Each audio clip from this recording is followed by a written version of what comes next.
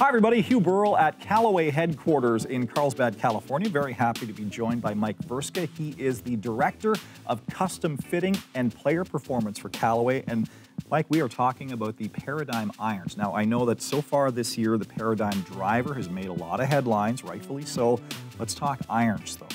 Yeah, so two models to, to, pair up with the drivers that have been so successful on tour. Paradym, Paradym X really fits a wide range of players. It's really about speed, it's about distance, but also about forgiveness in, in, a, in, ways that we've never been able to do with the technology behind it. Yeah, last year it was Rogue making a big splash. Uh, this year it is Paradym. Two models of Paradym, the Paradym and the Paradym X. Let's talk about X first. So X can be a little bit more forgiving, a little bit more offset, a little bit larger, but still very attractive for lots of players and delivery types. So again, if you, if you need to get the ball in the air, maybe fight a fade or a slice, but looking for distance, looking for forgiveness, Paradym X is the way to okay, go. Okay, let's move over to Paradym now.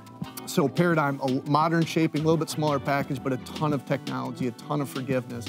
Tungsten, urethane microsphere, speed frame, 455 face cup. I mean, we're throwing the kitchen sink from a technology standpoint. Yeah, and a lot of that tech uh, centers around how it sounds, too, something which a lot of players sometimes overlook.